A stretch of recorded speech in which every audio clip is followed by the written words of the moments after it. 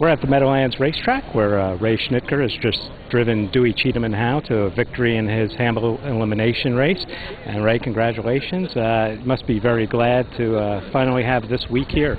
Oh yeah, just to get in. Uh, you never know what happens in eliminations, and you can't win it unless you're in it. But uh, he was very, very good, and I was really happy with him.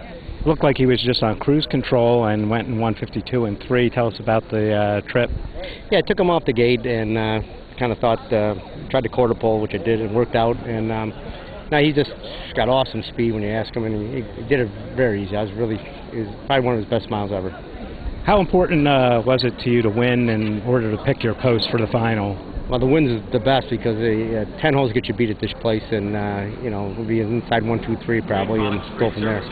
You, you picked the uh, one for the the dancer final, so uh, yeah, I might, probably be? Yeah, I might pick that again. I'm not sure. You know, I got to I got to look it over again. And what are your plans for this week with uh, Dewey? Uh, it's basically the same thing we always do, and uh, you know, not do too much with him, and uh, he seems like he likes it, and uh, we'll go from there.